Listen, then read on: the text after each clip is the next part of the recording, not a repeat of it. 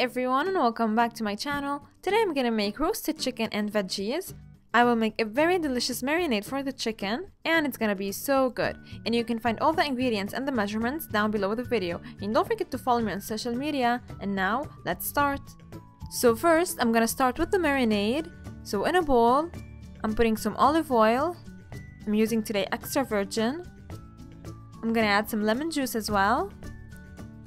About half a lemon. I think that's enough. Then I'm gonna add some yogurt. And here I have some herbs and spices. I have some garlic powder, onion powder, some salt, paprika, and rosemary. So you wanna mix them together very well until everything is well combined. So that's looking good.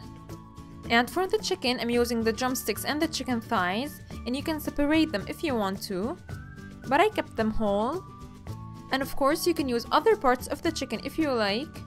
For example, the chicken wings or the chicken breasts.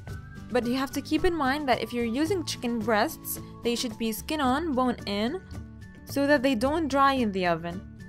So as you saw here, I poured the marinade over the chicken and I'm rubbing it very well so that every bit in the chicken is covered by that delicious marinade.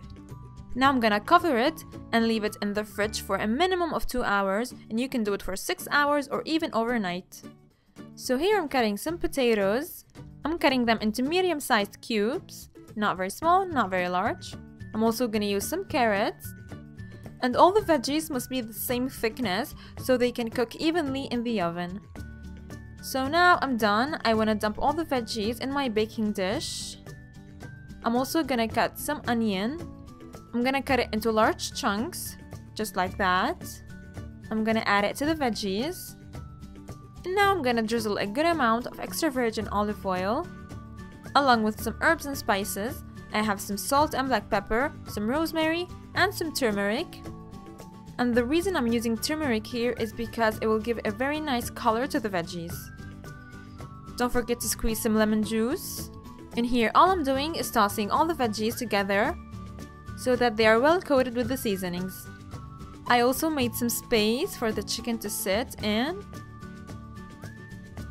And of course I'm gonna pour the leftover marinade. In here you want to make sure that your oven is preheated at 425 degrees. It's about 220 Celsius. And the last ingredient that I'm gonna add is some garlic. So I have here some garlic cloves. Of course the peel should be on. And I'm gonna distribute them between my veggies. And when the garlic is roasted, it's gonna be very delicious and sweet. Now you wanna put your baking dish in the oven for about one hour. And this is how they look like when they are out of the oven. The chicken is looking so good. It has a very nice and brown color. The skin is crispy. The chicken is moist. And look at the veggies. They got a really nice color. So I'm gonna finish it with some parsley. Now I'm gonna cut it open to show you what it looks from the inside. Look at the chicken.